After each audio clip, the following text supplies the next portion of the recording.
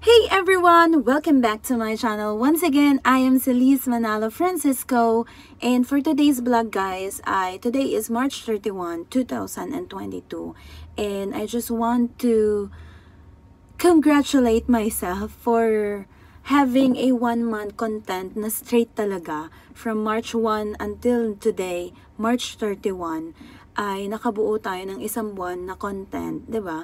And I just challenge myself. Ginawa ko naman na siya before.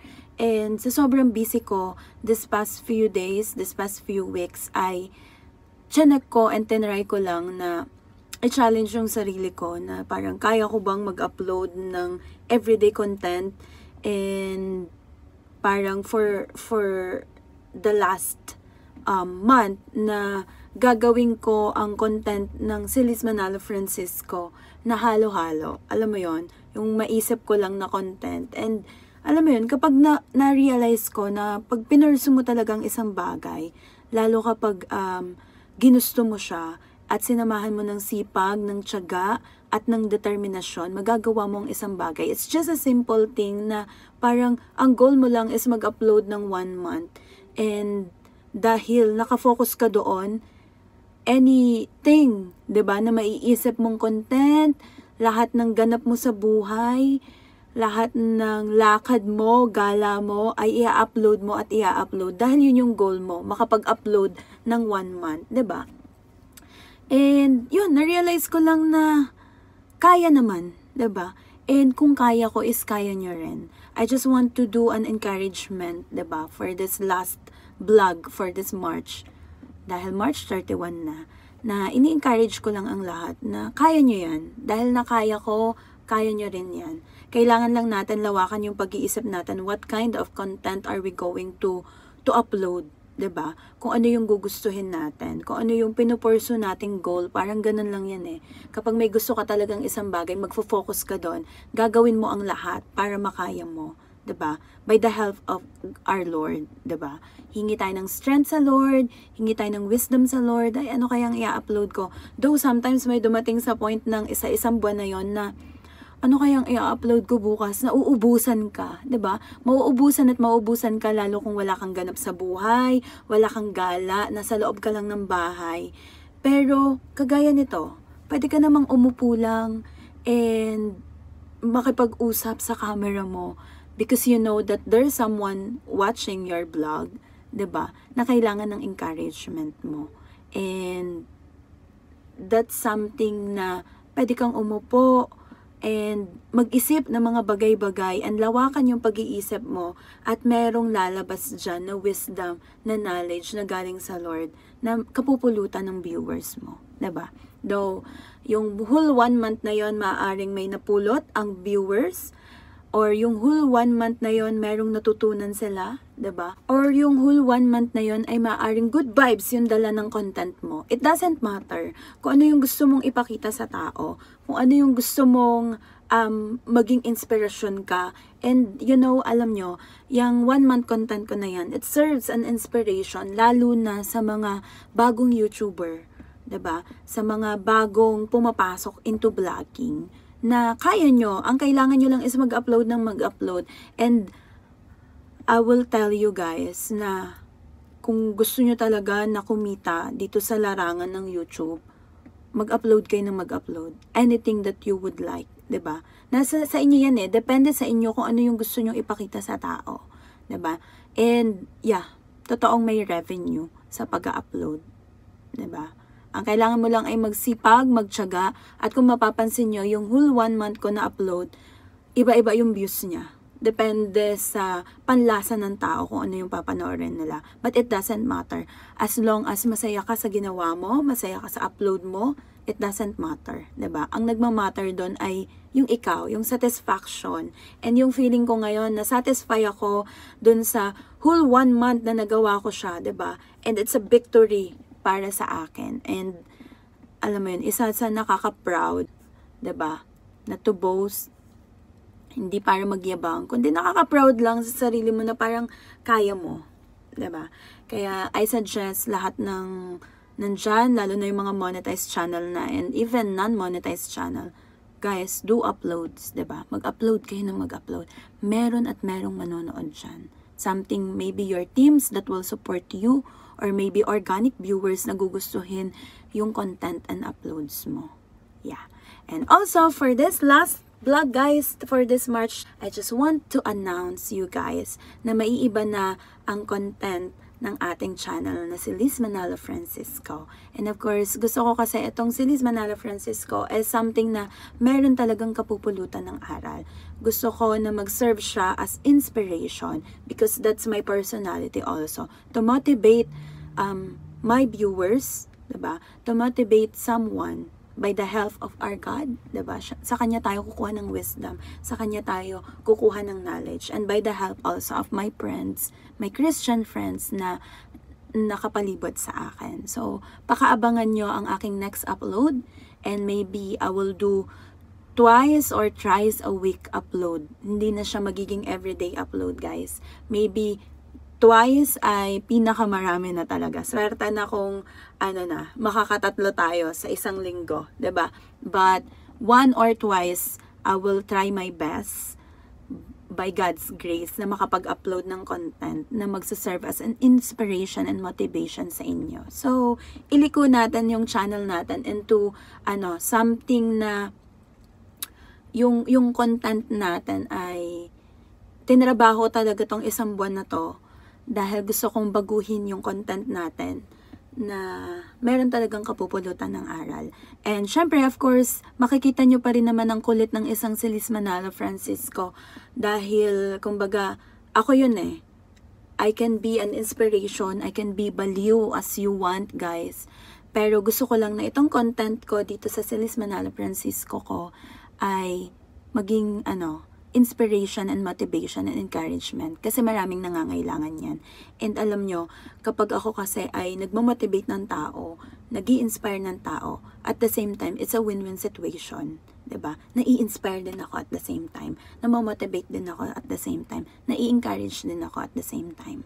Basta lagi lang natin tatandaan na meron tayong Lord na tutulong sa atin whatever it is, whatever your plans, 'di ba?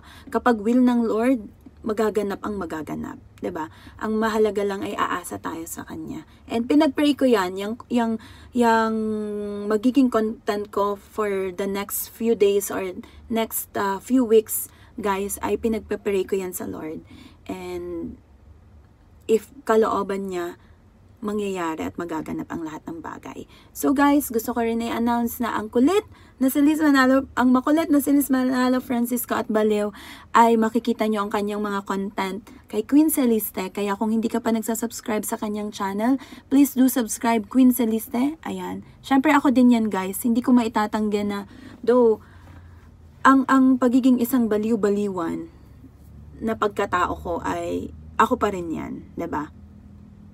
So, doon yung makikita yung halo-halong content and kung meron kayong mga suggestion na, na content, challenges na gusto nyong gawin ko, ay doon yung mapapanood kay Queen Celeste. Yeah. And syempre, etong channel ko na si Manalo Francisco, gagawin natin to the highest level na magbibigay ng glory sa Lord. Meron siyang purpose at kapupuntahan. So, salamat sa lahat ng mga sumusuporta And thank you sa inyong pagmamahal at walang sawang suporta. My all members ng channel na ito kay Sinis Manalo Francisco, salamat sa pagkapit. 'Di ba? Sa lahat ng organic viewers ni Sinis Manalo Francisco, thank you, thank you so much from the bottom of my heart. I am always be thankful sa inyo guys. And sa lahat ng teams na sumusuporta sa aking channel. Thank you, thank you so much. And of course, very special ang aking churchmate and friends na sumusuporta dito sa aking channel. Di man kayo nagko-comment, di man kayo uh, madalas nakikita ng mga tao dahil mga silent viewer kayo. It's fine. I am I know that at sobrang appreciate ko yan. And thank you so much for everyone na nai-inspire dito sa aking channel.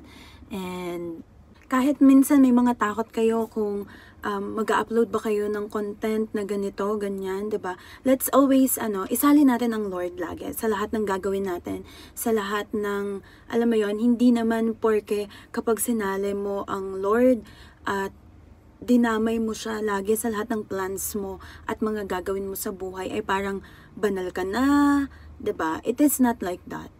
Lagi nating i-acknowledge that apart from Him, we can do nothing. Siya yung source ng ating lakas, siya yung source ng ating pag-iisip, siya yung source ng lahat ng meron tayo, 'di ba? Kaya nararapat lamang na isali natin siya sa lahat ng ating ano um uh, plans, ng ating ways, ng ating mga gagawin, 'di ba? Let's ask wisdom and knowledge sa ating Lord. Let us strength kapag kailangan mo ng strength, kailangan mo ng kalakasan, hingi ka lang sa kanya, 'di ba? Kapag natatakot ka, kapit ka lang, 'di ba? Sometimes we have fear na baka pag nag-upload tayo ng ganitong content ay ma-judge tayo, 'di ba? Sometimes um, may fear tayo na baka walang manood, 'di ba?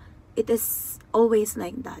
But let me tell you guys as an encouragement, gawin nyo lang kung ano yung gusto nyo, yung magpapasaya sa inyo, as long as wala kayong inaapakang tao, as long as um, as long as wala kayong inaapakang tao, as long as yung content nyo ay positive ang dala, good vibes ang dala, 'di ba? Hindi siya yung parang um, masama yung magiging kalalabasan ng content nyo. Go, upload lang ng upload, guys. 'Di ba? And do not fear, sabi nga ng Lord. Alam nyo, meron akong isang verse sa Bible na pinangahawakan kapag dumadating yung times na meron akong pangamba, meron akong takot. Siyempre, normal sa atin yun eh, ba? Pero kapag nare-remind sa akin ng Lord yung verse na yon, laging nawawala yung takot ko sa lahat ng bagay. ba? Alam nyo, lahat ng encouragement na ibabato ko dito, motivations and something inspiration na kapupulutan nyo dito, you can use that in all aspects of your life. Diba? So, sabi ng Isaiah 41.10, So do not fear, for I am with you. Do not be dismayed, for I am your God. I will strengthen you and help you. I will uphold you with my righteous right hand. ba? So wag tayong matatakot, wag tayong mangamba, wag tayong panghinaan ng loob, wag tayong um, mawawalan ng kalakasan. Dahil ang Lord sasamahan tayo. Anuman ang tahakin natin saan man tayo tumungo anuman ang gustuhin natin basta lagi, lagi lang tayong humingi ng tulong sa Kanya 'di ba bibigyan niya tayo ng lakas tutulungan niya tayo at itataas niya pa tayo 'di ba Basta lagi lang natin aminin sa sarili natin na kailangan natin siya. So, yun lang guys. And yun lang yung gusto kong iwan sa inyo uh, ngayong araw na ito. Yun lang yung gusto kong iwan sa inyo na memory verse sa Bible. Pwede nyong hawak-hawakan at kapit-kapitan kapag dumadating sa punto ng buhay nyo na kayo ay natatakot, nababalisa, ba? Diba? Sabi ng Lord, do not fear dahil kasama niya tayo inaantay niya lang tayo, ba? So, always whatever you are going to do, whatever your plans, just commit it to the Lord. Dahil Proverbs 16:3 sabi doon, commit to the Lord whatever you do and your plans will be succeed. Kapag kinumit mo sa Panginoon, lahat ng plano mo sa buhay it will be succeed, 'di ba? Matatapos magaganap ang magaganap, lalo na pagkalooban niya. So that's all for today, guys. Thank you so much for everything. Maraming maraming salamat, guys, sa isang buwan na pagsama sa aking vlog na ito, sa aking content na 'yan. Though um ewan ko kung meron kayong um, inspiration na napulot for that whole month, kung may good vibes na dala, Thank you, thank you so much. Sa lahat ng mga nagko-comment dyan, guys, maraming maraming salamat sa inyo.